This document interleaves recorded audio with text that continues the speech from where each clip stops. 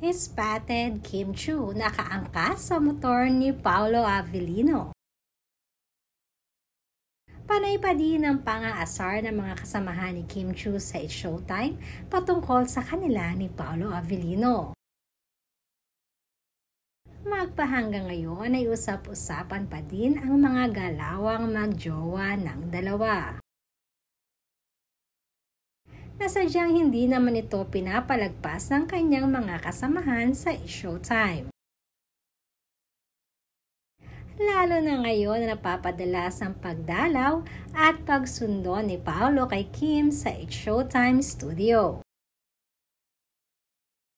Kaya naman kung ating mapapansin ay tahimik lamang si Memi Vice kapag si Kim na ang topic sa Showtime dahil napag-alaman namin na si Kim pala ay kay Vice Ganda na co-confide. At ayon na din sa aming source, ispatad nga na magkasama sina Kim at Paulo kanina. Kitang-kita di umano na nakaangkas or naka-backride itong si Kim kay Paulo sa motor ni Paulo Avellino.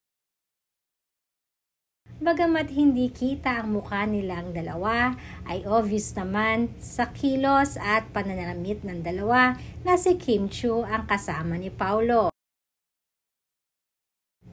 Sinundo daw kasi ni Paulo si Kim sa It's Showtime after ng kanilang taping.